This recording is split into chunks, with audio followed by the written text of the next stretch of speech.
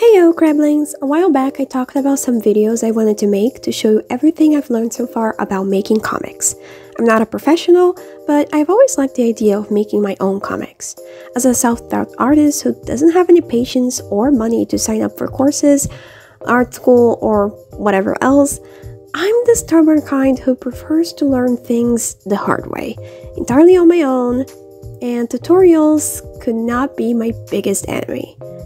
This isn't a tutorial because I don't know what I'm doing, but I'll try my best to be of use for those who are stuck in the idea of making comics and don't know how to get started. In this first video, we're going to make a simple plot and also the main characters. I'm going to be reusing an old story of mine, so the plot is already semi-structured, but you can use it as an example for your own if you'd like.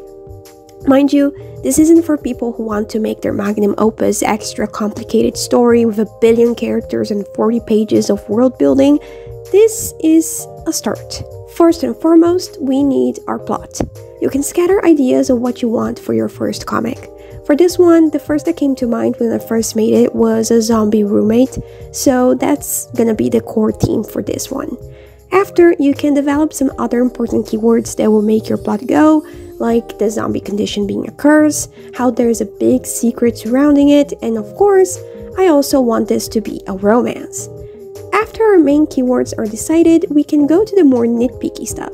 The story is going to happen in college, something terrible is going to happen so our zombie boy gets his curse, and finally, some basic timeline of events so we can ground ourselves better in our own plot.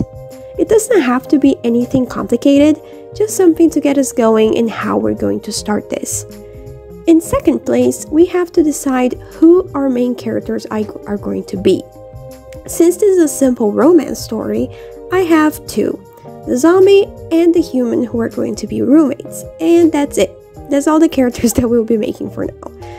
Uh, and especially if you're never published or finished a comic before, simple is best.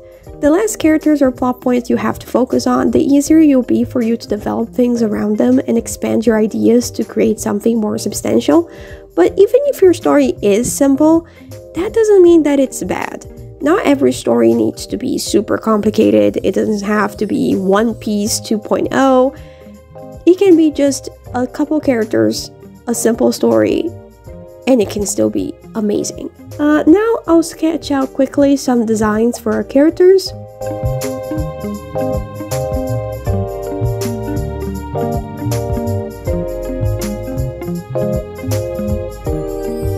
For him, I decided squares would be a good fit for no particular reason, but I'll remain consistent after my choice.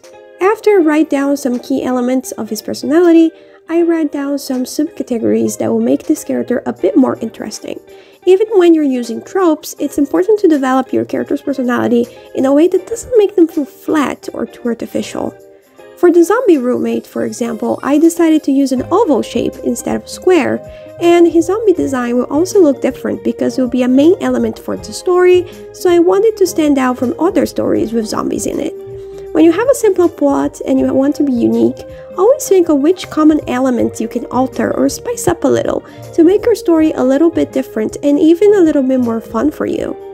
I didn't spend too much time on these designs because again, this is the beginning of an idea, so you don't have to worry about super polished characters or anything like that. For contrast, I made the personalities a bit on the opposite side, with the human roommate being an introvert and the zombie roommate being an extrovert, but that's just a preference of mine. As you can see, I use the same amount of elements for both of them when writing about the personalities, so they can be consistent within the universe they're inserted in. And like I wrote on the screen, it's important that your characters can be different from one another with distinct personalities, and while they don't have to be total opposites from each other, try to think outside of yourself when making characters so the entire cast doesn't end up acting and behaving like a copy of you. It can be a bit challenging since it's you writing it, but there's a lot of different ways you can make characters different that we'll see in a future video. For this part, we'll end it here. The next step will be exploring character design, where we can go more in depth about character personalities and how to use shape and values to make them stand out. Here's all the things we cover in this short video. If there's anything you want to see more in depth as we go along, feel free to leave a comment. Please understand this will start from very basic concepts that will progress into more complex ones as we go, and I don't want to make these too dense or complicated for anyone. Anyone can make comics. Even if you don't have a formal understanding of them, don't be afraid to just start without having 100% of it figured out yet. And while you're here, if you enjoyed the video, please consider subscribing, liking, sharing, and checking out my own comic that will be linked down on the description. The House of Monsters uploads every Tuesday and Thursday on Comic Fury. More information down below. That's it. See you around, Crablings. Bye bye and stay crabby.